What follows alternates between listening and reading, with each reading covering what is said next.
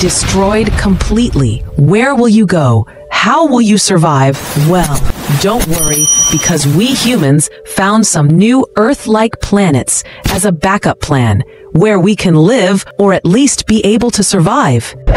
Earth-like planets outside the solar system in the habitable zone. Fifth choice. The planet Gliese 581g is located in the Goldilocks region. It is 20 light years from Earth and was discovered by astronomer Steve in 2010. One year is equal to 67 days, and its mass is 1.5 times the mass of Earth. Gliese 581g is believed to be tidally locked to its star, meaning its sidereal day is exactly the same as its solar year, with one side always facing the star. Temperatures similar to those on Earth are possible in the region between the dark and light sides. Its mass relative to its size also suggests it may have an atmosphere.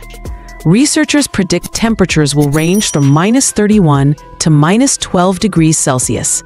Due to the weak energy output of its small sun, it is possible that water could exist there, and the planet is potentially habitable. It is the most Earth-like planet and the best candidate exoplanet for life to date.